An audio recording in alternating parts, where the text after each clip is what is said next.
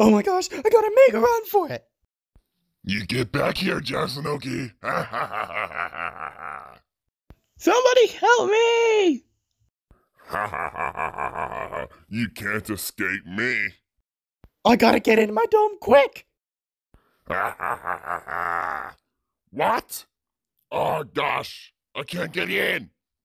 Hey, you! Whoa, whoa, whoa. Who's that? The legendary moonflower that protects this moon from villains like you. Now I order you to get off this moon right now. Ah!